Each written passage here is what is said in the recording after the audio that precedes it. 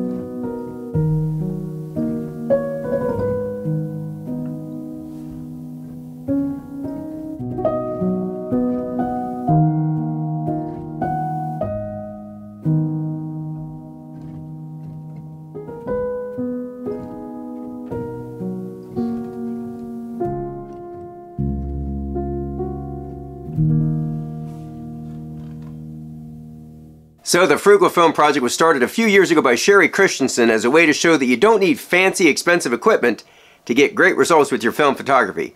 The rules are simple. You pick one cheap film stock and one cheap camera, and then each month you shoot that roll of cheap film through that cheap camera, and then post your results to the Frugal Film Project's Facebook page. Your camera has to cost no more than $75, and you have to use that same camera all year, Unless it breaks, then you can pick a new one to replace it. There's no set dollar amount on the film, just try to keep it as cheap as possible. That's it.